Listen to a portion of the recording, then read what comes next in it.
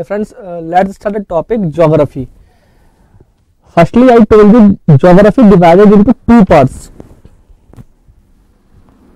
Indian geography and international geography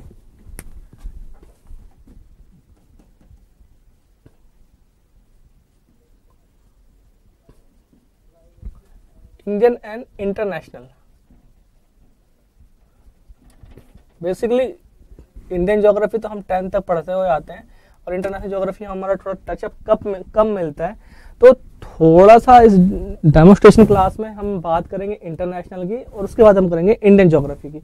जो international geography है, उसके जो टॉपिक्स हैं, वो आपके मिलेंगे जैसे कि solar system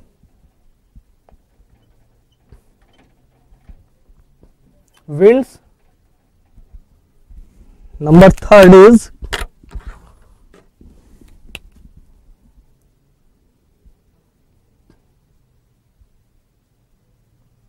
ocean current.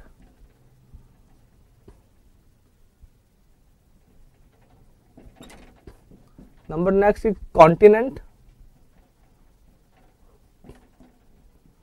Fourth is 1 2 3 4 fifth is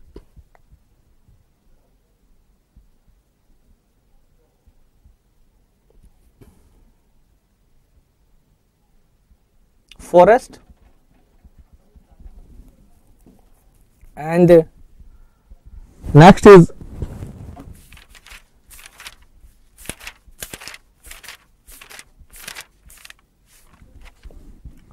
longest highest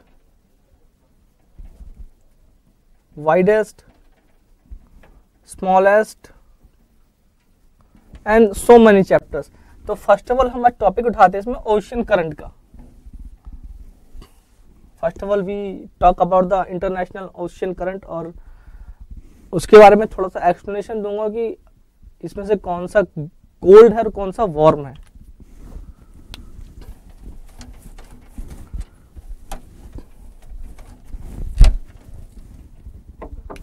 ocean current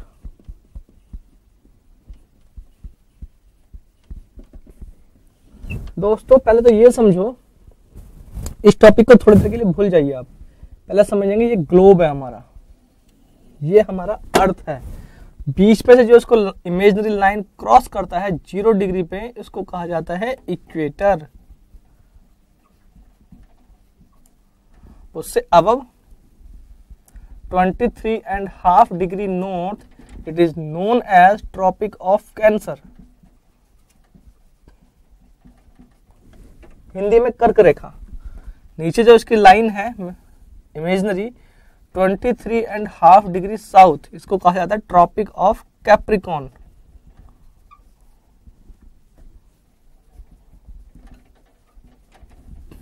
and अब अब मैच करता है इसको 66 एंड हाफ़ डिग्री नॉर्थ पे।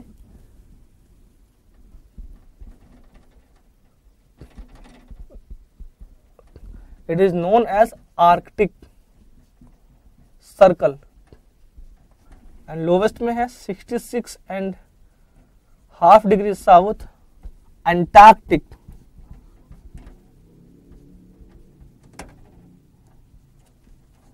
let's friends first of all हमें पता होना चाहिए कि जो ये हमारे जितने भी आर्कटिक और अंटार्कटिक हैं, यहाँ पे बर्फ़ जमी हुई है।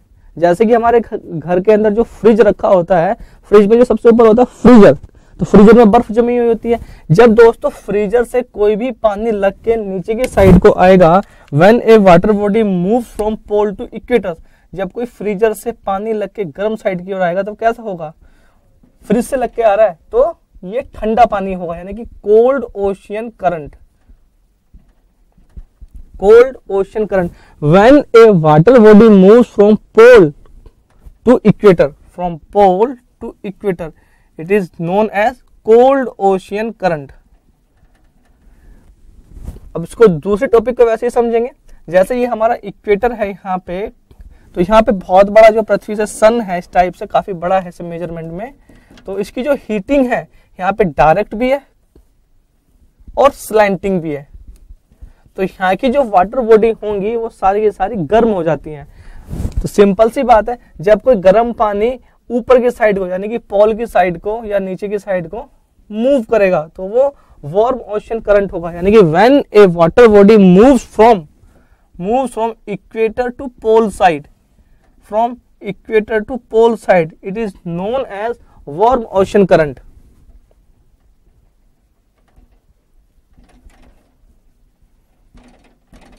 दोस्तों, हिंदी में इसको समझेंगे, जब कोई पानी की जलधारा पोल से कर्क रेखा की ओर बहती है या मुड़ती है, उसको हम ठंडी जलधारा कहते हैं। तथा जब इक्वेटर से कोई जलधारा पोल की साइड को बहती है तो उसको हम गर्म जलधारा कहते हैं। तो इसका जो क्लासिफिकेशन है, पहले समझना पड़ेगा आपको पूरे ग्लोब को कि किस देश की लोकेशन कहाँ पे है, कौन सा कॉन्टिनेंट कहाँ पे है, और कोई सा ग्रुप ऑफ़ आइलैंड्स किस साइड में इसी वजह से लोकेशन की वजह से हम पता कर सकते हैं मैक्सिमम केस में कि इसकी लोकेशन कैसी है, या ठंडी है या गर्म है। दोस्तों, दूसरा केस इसमें यह आता है कि ये अपना रूट भी चेंज करती है क्या? ये चलती कैसे है? As we know our earth is revolving on its axis from west to east side due to Coriolis force जो हमारे पृथ्वी पर कोरोलियस फोर्स लग रहा है, उसकी वजह से पृथ्वी हमारी अपनी एक्सिस पर घूमती है, यानी कि अपनी धुरी पर घूमते हुए घूमती है। तो हमारी जो पृथ्वी की घूमने की जो डायरेक्शन जो दिशा है, वो पश्चिम दिशा से होके पूर्वी दिशा यानी कि its revolve on its axis from west to east side तो इसके बाद जिसका एक्सप्लेनेशन है एक्सप्लेनेशन है कि कौन सी ठंडी है, कौन सी गर्म जलधारा है, वो डिपेंड करता है कि आपको वर्ल्ड ग्लोब वर्ल्ड ज्योग्राफी में कंट्री की लोकेशन पता हो आइलैंड्स की लोकेशन पता हो। पहले उसको जानना ज़रूरी होता है, दोस्तों। वो तब आएगा जब आप एटलस को ठीक से रीड करना सीख लोगे दोस्तों। तो बात करते हैं, जो प्रशांत सागर की गर्म जल धाराएँ हैं, यानी कि warm ocean current of Pacific area warm ocean current of OC means ocean current warm ocean current of Pacific sea front number first वैसे तो मैंने बता दिया यहाँ पे वार्म है जब यहाँ पे कंडीशन में वार्म ना लिखूँगा तो ये खुद आपको भी इमेजिन करना होगा और अपने नॉलेज के बेस पे पेपर में टिक करके आना होगा उसको क्लिक करके आना होगा। नंबर फ़र्स्ट है आपको क्यूरोशियो क्यूरोशियो वैसे तो ये एक साथ है क्यूरोशियो समझाने के लिए मैंने इसको अलग किया है। क्यूरोशियो जब आप इसका सही से प्रोनाउंसिएशन करना सीखोगे तो हंड्रेड परसेंट चांस है कि आ जाए। क्यूरोशियो की जो लोकेशन है दोस्तों north side of Pacific north side of Pacific it flow on the north side of Pacific and number next मैं यहाँ पे आपको कंट्री का नाम बताना भूल गया हूँ। Just wait let me draw the map of the world lump not accurate these our north america something like that this is our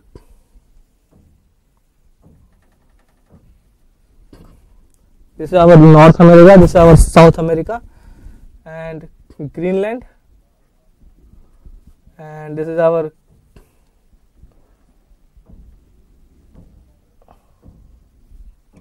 European part. This is European part. And Africa.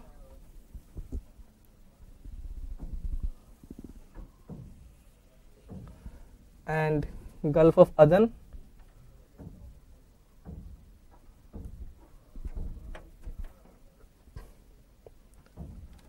Arab, Iraq, Iran, Pakistan and India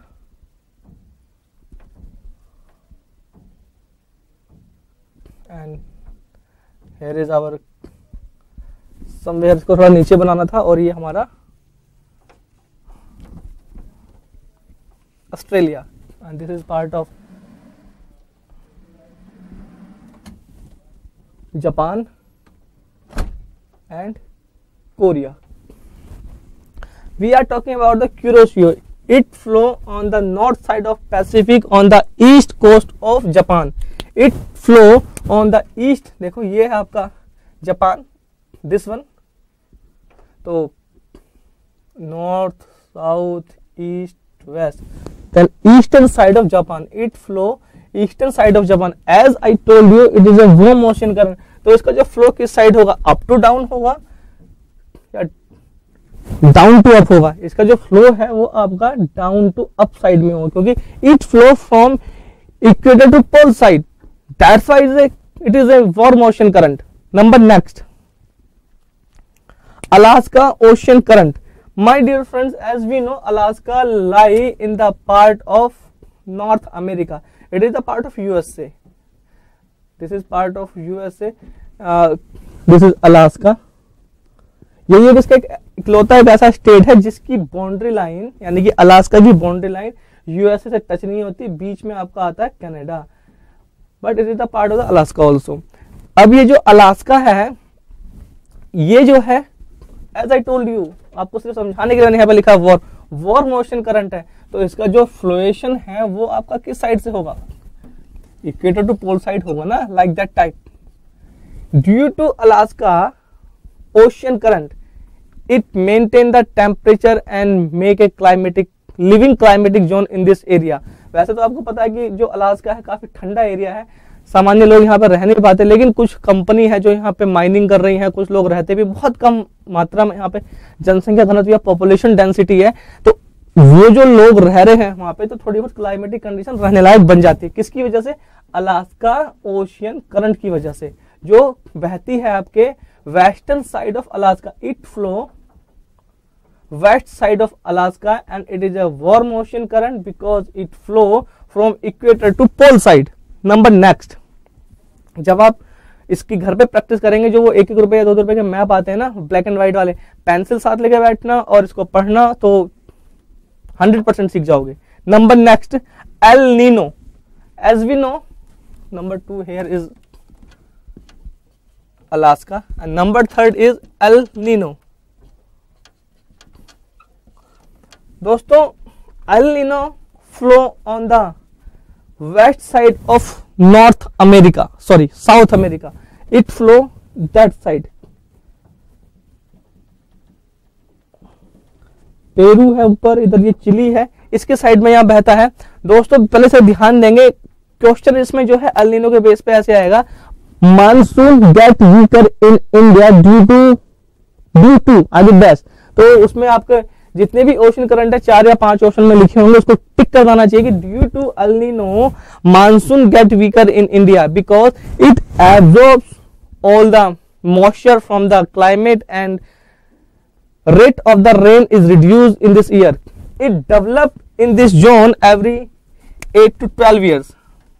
यानी कि simple सी बात है, हर आठ से 12 साल बाद भारत में मानसून वीक होता है, जिसकी वजह से यहाँ पे क्रॉप्स का प्रोडक्शन लो जाएगा क्रॉप्स का प्रोडक्शन अगर लो गया तो ये डायरेक्ट और इनडायरेक्ट दोनों तरीके से डिमांड और supply of the production of the crops पे फ़र्क डालेगा तो यहाँ की जो इकोनॉमी इकोनॉमी है वो डिसबैलेंस होती है क्योंकि cultivation in India is fully on monsoon season, monsoon rain. That's why. दोस्तों ये यहाँ पे जो है डेवलप होता है इसका जो मूवमेंट होता है एज वी नो देखो ये हमारा पूरा ग्लोब है। तो जैसे ये पेन है ना, जो पॉइंट ये वाला घूम के इधर है डायरेक्ट वो डायरेक्ट इसके बैक साइड से घूम के इधर भी तो है ना। तो जब ये अलिनो इधर से मूवमेंट करता है तो इसके पीछे साइड से घूम के it entered in this part of अगर इसको हम मेंटेन करेंगे प्रॉपर ढंग से तो ये यहाँ बैठता रह जाके। ठीक है ना? क्योंकि ये थोड़ा सा मैप इस टाइप से बना दिया गया है मैंने। As we know Prithvi earth is tilt on its axis twenty three and half degree तो ये जो है आपका इंडिया में एंटर करता है। और इंडिया में जब ये एंटर करता है it enter in the bay of Bengal तो मानसून में कमी ला देता है। Number next Tsushima ocean current Tsushima as we know T is silent Tsushima ocean current it flow as we know as I told you मैं हर बार बता रहा हूँ आपको कि जितने भी है, मैं वार्म करा रहा हूँ आपको क्यूरोशियो अलास्का एलिनो और अभी सुशीमा ये भी एक गर्म जलधारा it is warm ocean current it flow on the in the strait of Korea जहाँ पे ये आपका ये जापान और कोरिया के क्षेत्र है। ये कोरिया है, ये जापान है। इसके एरिया में यहाँ पे फ्लो करता है दोस्तों। और मैंने कहा है कि ये गर्म जलधारा है तो इसका जो फ्लोएशन होगा वो डाउन टू अपसाइड होगा। बेसिक ही फंडा हमें लगाना है कि when a water body move from equator to pole it is a cold when a water body move from equator to pole it is cold same condition में दो क्योंकि हमारे पास दो पोल है, एक नॉर्थ पोल एक south pole when a water body move from pole to equator pole to equator यानी कि ऊपर से इक्वेटर की साइड को, नीचे से इक्वेटर की साइड को it is known as warm ocean current warm तो यहाँ से ये जो मूवमेंट है, ये आपका है equator to pole side how it is it is warm ocean current number next number next में जान से पहले मैं आपको इतना बताना चाहूँगा दोस्तों। एक बात मैं शुरू में बताना आपको भूल गया था। देखो दोस्तों, जैसे ये कॉन्सेप्ट है water body moves equator to pole sorry pole to equator ये कोल्ड हो गया। और इक्वेटर टू पोल ये वार्म हो गया। सेम यहीं पे, ये वार्म है, ये आपका कोल्ड है। दोस्तों, कुछ ओशन करंट पूरी वर्ल्ड में ऐसी भी हैं, जहाँ पे ये मिलती हैं। कहीं पे ठंडी और गर्म एक साथ अगर मिल गई इस टाइप से, या इस टाइप से दोस्तों तो वहाँ पे क्या है? बड़े बड़े फिशिंग लैंड डेवलप होते हैं, क्योंकि वहाँ पे कुछ ठंडी जल धारा है कुछ गर्म है तो वो मछलियों के रहने के लिए, यानी कि फिशिंग लैंड डेवलप होता है, क्योंकि मछलियों के रहने के लिए अगर मूव करती हैं, जहाँ पे वो प्रजनन कर सकती हैं, अंडे दे सकती हैं तो ये रहने लायक जगह बन जाती है। लेकिन कौन कौन सी दो इंटरनेशनल ओशन करंट मिल रही हैं ओशन में, उसके बाद हम ज़िक्र करेंगे। नंबर नेक्स्ट इस कॉन्सेप्ट को याद रखना when cold ocean current and warm ocean current meet to each other at any place they develop a great fishery land in the world. Number next. Cold ocean current of pacific zone. Number next. Now cold ocean current.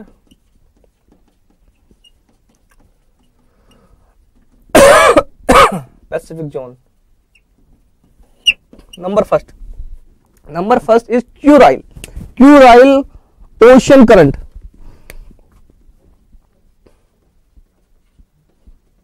as I told you it is cold तो इसका जो मूवमेंट होगा pole to down side होगा ना then movement of Kuril ocean current is from the eastern side of Japan that side देखो दोस्तों, ये जो ब्लू कलर है यहाँ पे, ये वॉर मोशन करंट है, जो ब्लैक कलर है, वो कोल्ड ओशन करंट है. When they meet to each other in this part, they develop a great fishery land. Great fishery land number next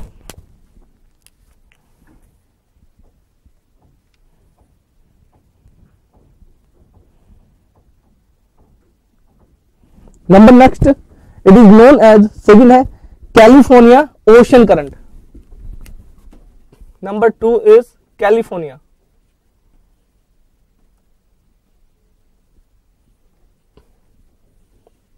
california ocean current flow on the west side of California as we know हमें पता होना चाहिए कि California की जो location है world geography में कहाँ पे है? फ़र्स्ट ऑफ़ ऑल किस कॉन्टिनेंट में? अमेरिकन कॉन्टिनेंट में। अमेरिकन में नॉर्थ में कि साउथ में? आप ये गूगल पे सर्च करना, या बुक में सर्च करना, या एटलस पे करना, सब कुछ तो मैं बताऊँगा नहीं। That's I somewhere here California ocean current it is known as cold ocean current इसका जो मूवमेंट है आपका पोल से डाउन साइड में that side that's why it is cold ocean current number next Humboldt या पेरुवियन हमबोल्ट और Peruvian जैसे कि मैंने बोला आपको नंबर थर्ड हमबोल्ट हमबोल्ट तो आपको याद करना पड़ेगा और जो दूसरा इसका नाम है वो है Peruvian Peruvian ocean current deals with the country का नाम है Peru then Peru where is Peru Peru is located in the South America तो इसका जो फ्लोएशन है, वो इस साइड है। तो जो हमबोल्ट हो गया, वो आपका western side of South America number next warm ocean current of Atlantic ocean warm ocean current of Atlantic ocean या Atlantic zone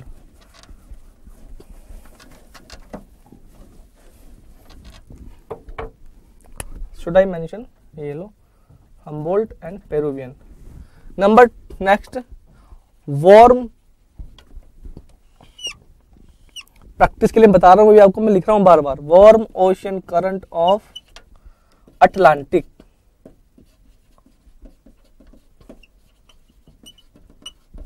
Atlantic zone number first Gulf Stream as we know ये तो आपने बहुत time से पढ़ा होगा। It flow on the eastern side of USA as we know USA आपका boundary line ये ऊपर कनाडा है। तो इसका जो फ्लोएशन है, मैंने आपको पहले बताया है कि ये गर्म जलधारा है दोस्तों।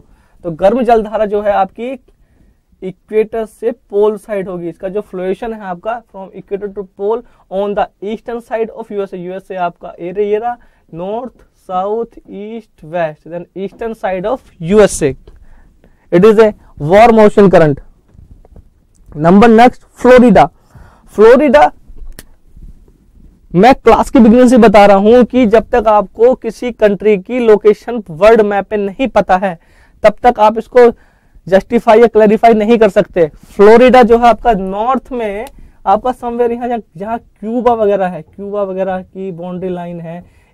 इधर ये क्यूबा कंट्री पड़ती है जहाँ पे आपका ये शुगर के लिए बहुत डेवलप एरिया है कि शुगर ज़्यादा प्रोडक्शन करता है पूरे वर्ल्ड में। तो यहाँ जो ये एरिया है, इसको जो हम कहते हैं, इसको कहते हैं फ्लोरिडा तो Florida Florida ocean current as I told you ये वार्म है। तो इसकी जो डायरेक्शन है, वो आपकी इक्वेटर से अप साइड में होगी, यानी कि Florida ocean current. Number next number next, Brazil ocean current. Gulf, number two, Florida. Number third is Brazilian.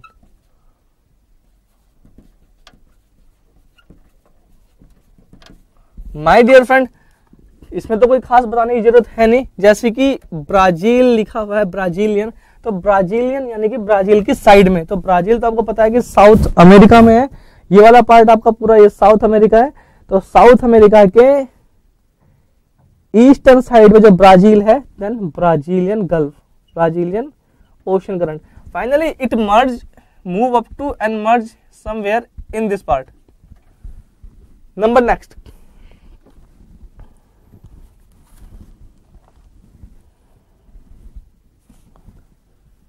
cold ocean current of Atlantic. ये बहुत छोटी सी डेमो क्लासेस के बारे में चर्चा कर, करते रहेंगे आगे। Cold ocean current of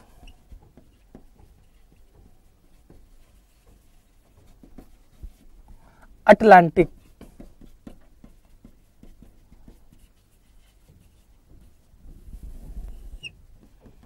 Number first.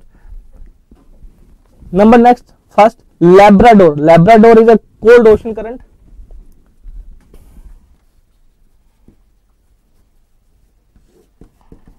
first of all जैसे मैं आपको बताया है यहाँ पे कि ये आपका कोल्ड ओशन करंट है, इसका जो मूवमेंट है दोस्तों, वो तो अब आपको लगना चाहिए कि ये पोल से इक्वेटर की साइड को होगा। तो ये जो आपका लेब्राडोर ओशन करंट है somewhere here like that type Labrador देखो दोस्तों, यहाँ पे भी सेम यही कंडीशन है कि यहाँ पे एक कोल्ड ओशन करंट और नीचे से ये वार्म ओशन करंट आवाज़ से मिल रही थी। सेम यहीं पे कि ये कोल्ड है, फिर ये वाली वार्म है। तो ये जो एरिया है, यहाँ पे ग्रैंड बैंक यानी कि फिशरी लैंड डेवलप होगा। मैं बार बार बता रहा हूँ, जहाँ पे गर्म जलधारा और ठंडी जलधारा मिलेंगी, वहाँ पे मत्स्य उद्योग को बढ़ावा या प्रोत्साहन मिलेगा। When warm ocean current and cold ocean current meet to each other they develop a great fishing land in the globe number next Canary ocean current Canary बोलो किनारी बोलो depends on your accent Canary ocean current my dear friend as we know Canary ocean current जो है, बहुत ही ज़्यादा पुरानी है। पुरानी का मतलब यह है कि यहाँ पे जो सहारा डेजर्ट है, ये भी कभी स्टडी में पढ़ने को मिलता है कि कभी डेवलप एरिया था और आज ये पूरा डेजर्ट है। तो केनारी की वजह से ही ये सूखा हो गया, इसमें डेजर्ट हो गया है। तो इस ठंडी है तो सिंपल सी बात है कि पोल की साइड से ये इक्वेटर की साइड को आएगी। It moves from pole to equator and western side of the Sahara और Africa it moves from pole to equator pole to equator and western side of Africa और Sahara. वैसे Sahara तो आपका मिस्र तक, इजिप्ट तक काउंटेबल है, ये पूरा एरिया लेकिन क्या है, आप इसको वेस्टर्न अफ्रीका में काउंट कर सकते हो। देखो दोस्तों, मैंने क्लास के पहले बताया था कि earth revolve on its axis due to Coriolis force जब यहाँ पे कोरोलियस फोर्स है तो हो सकता है कि thousand of year lakhs of year पहले इसका जो मूवमेंट है वो यहाँ से इधर हो। क्योंकि यहाँ पे जीएमटी वगैरह की लाइन निकलती है ना दोस्तों, इसी वजह से। तो समय चलते चलते जैसे कि पृथ्वी की शेप भी चेंज होती है जो जो उसका एक्सिस है, वो तो ट्वेंटी थ्री एंड हाफ़ है। शेप तो है ना शुरू से। तो कुछ सालों बाद इसका जो मूवमेंट है, वो इधर ना हो कि इधर मूव कर गया हो। तो यहाँ पे जितनी भी मॉइस्चर होता था थाउज़ेंड ऑफ़ ईयर पहले तो बरसात भी होती थी। जब बरसात होगी तो वेजिटेशन यानी कि वनस्पति भी उगेगी। लेकिन जैसे ही इसका मूवमेंट इधर आ जाता है तो जो इतने भी इसमें मॉइस्चर था इस एरिया में, ये इसको एब्जॉर्ब कर लेता है, सोख लेता है। तो जो नमी है इस एरिया की गायब हो जाती है और बरसात यहाँ पे होती नहीं यानी कि बादल जो नमी लेके बने थे, वो आगे की तरफ़ इसमें शिफ्ट कर देता है इस साइड में। इस साइड में। तो दोस्तों सिंपल सी बात है, Canary flow on the east side of Africa number next Falkland Falkland ocean current it flow on the north Atlantic Falkland जैसे कि मैंने आपसे पूछा था पहले कहा था कि ब्राजीलियन ओशन करंट किधर है? जब तक आपको ब्राज़ील की लोकेशन नहीं पता होगी तब तक आप उसको टिक नहीं कर पाओगे या ईस्टर्न साइड है वेस्ट साइड है। जब तक आपको ये पता नहीं होगा कि फ्लोरिडा किधर है तो आप वैसे भी टिक नहीं कर पाओगे भैया फ्लोरिडा की लोकेशन किधर है। सेम इसी तरीके से ये, ये आपके लिए छोटा सा क्लू दे रहा हूँ मैं कि फॉकलैंड आपका किस एरिया में है? ठीक है ना? तो इसको देख के आप अपने व्हाइट मार्कर पे टिक करके लाना व्हाइट कॉपी पे। The topic of the international ocean about to finish like first of all tell me let me tell you one thing Sargasso sea Sargasso बोल दो सैरो गैसो बोल दो सार गैसो सी एक्चुअल में ये जो term है, ये पोर्टुगीज लैंग्वेज से रिलेटेड है तो माइट भी स्पेलिंग थोड़ी सी गलत हो तो सैरगैसो दोस्तों, ये जो है Sargasso is a grass name in Portuguese land तो जब यहाँ पे ये मर्चेंट आए थे, इस साइड में, यानी कि जो पूरा जो ग्लोब है as I know 23 and half degree इससे अब साइड में नीचे की तरफ़ आएँगे तो 20 डिग्री एंड 45 डिग्री जब इसके बीच में आएँगे हम तो यहाँ पे जो पुर्तगाल वगैरह है, इन्होंने देखा था कि कोई एक लैंड है जो एक आइलैंड की तरह ट्रीट बिहेव कर रहा है, लेकिन वो ग्रास है, ऊपर से ग्रास है। लेकिन जो ग्रास की लेयर है, वो काफ़ी मोटी है, जिसपे आदमी चल भी सकते हैं। और वो जो है, एक आपका ये क्यूबा और गल्फ इन दोनों के बीच में यहाँ पे पूरे सागर में फैला हुआ है।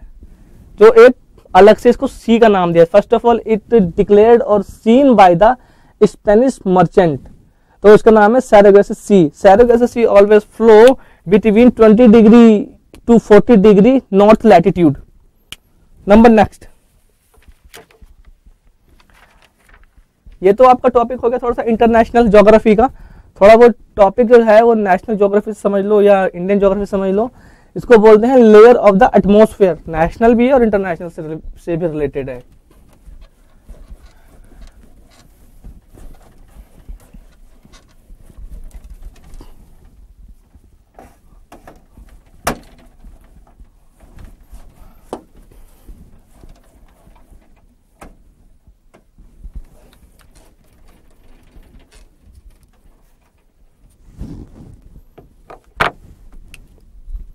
This is part is layer of atmosphere.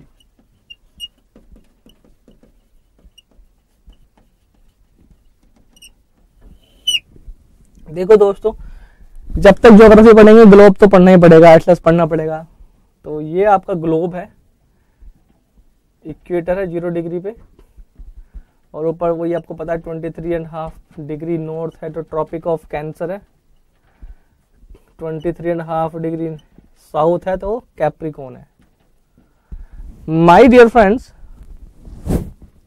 Layer जो एटमोसफेयर है वो हमारी पृथ्वी की, बाहर का एटमॉस्फेयर की बात कर रहे हैं। ये जो इधर के चारों तरफ़ फैला हुआ है first layer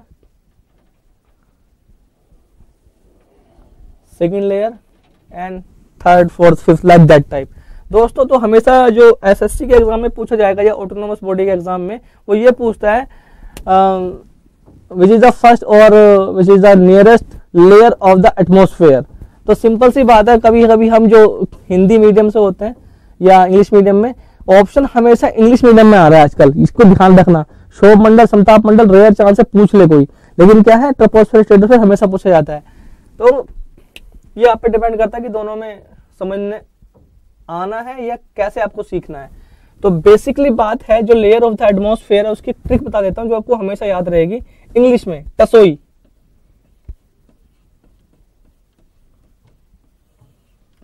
T denote as troposphere and S denote stratosphere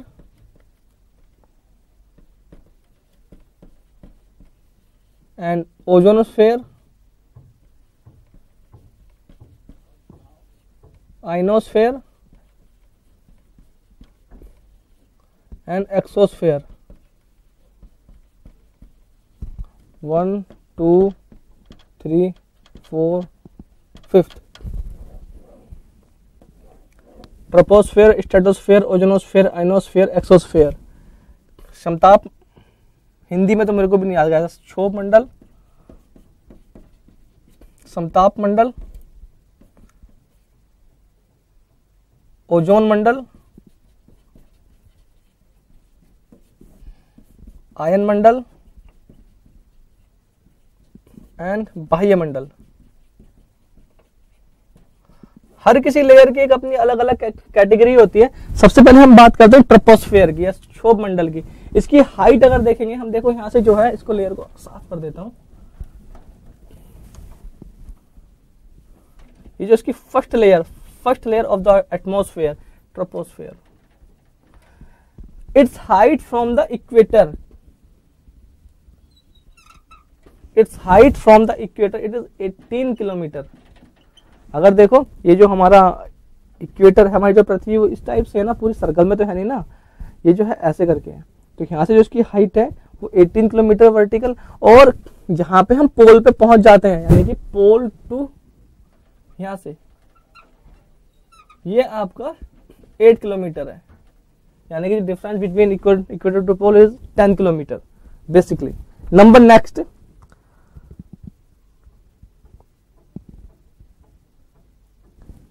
temperature reduced 6.4 degree Celsius at each kilometre जैसे जैसे हम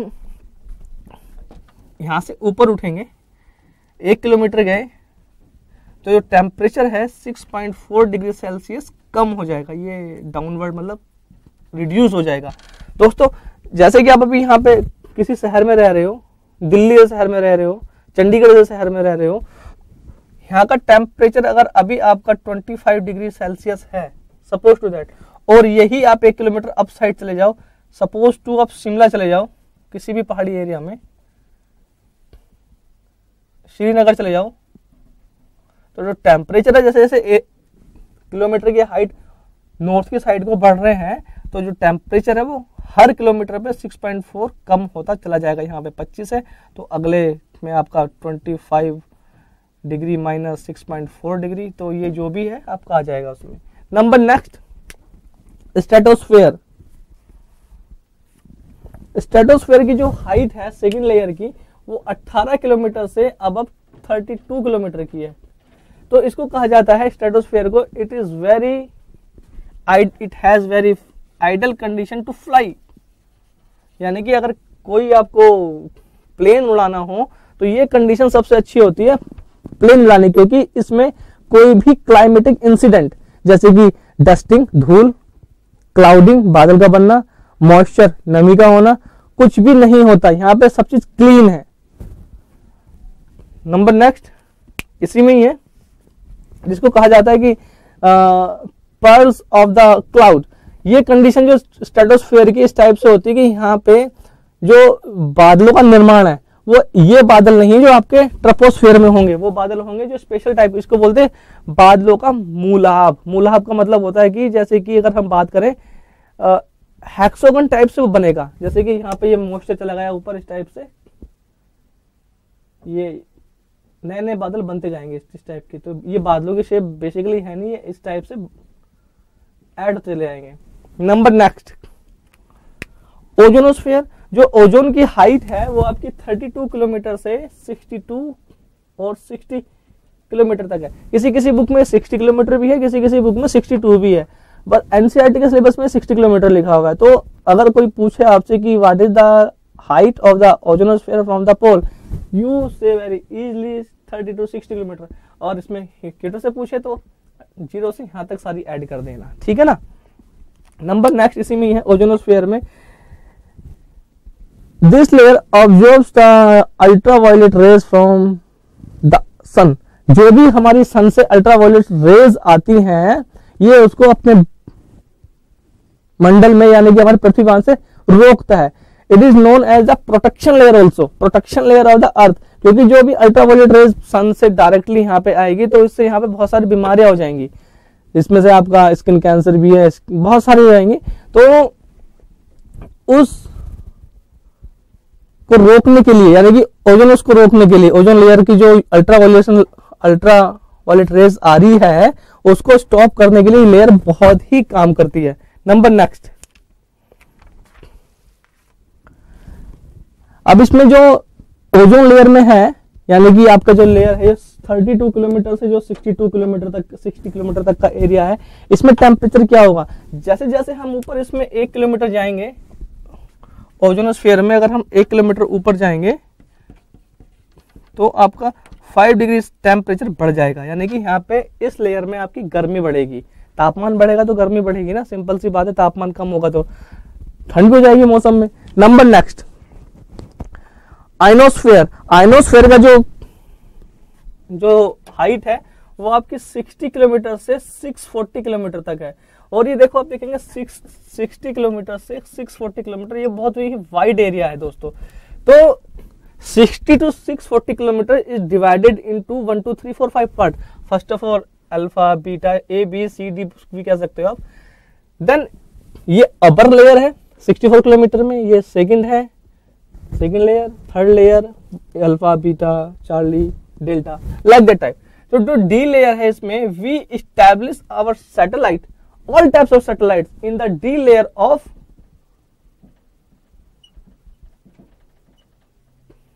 atmosphere तो जितने भी सैटेलाइट हम इसमें स्टैब्लिश करेंगे तो we receive the all signals of satellite phones telecommunication television from D layer of exosphere, यानी कि यहाँ से आपने कोई ट्रांजेक्शन किया सैटेलाइट के थ्रू तो पहले वो सिग्नल इधर गया, फिर आपके पास इधर रिसीव हो गया।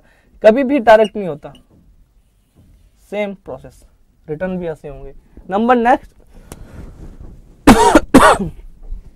exosphere